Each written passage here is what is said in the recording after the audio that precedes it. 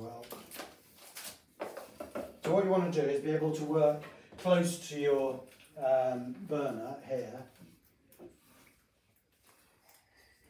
Now, of course, you can if you want. You can take the, the little uh, soup mug out, you know, keep putting it back, but we want to just keep it at a nice temperature. And you're sloshing, there we go. Everyone's sloshing away.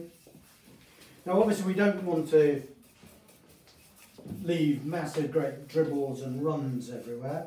However, um, you do want to make sure you're in it. Now, I like to achieve with any form of painting, I like to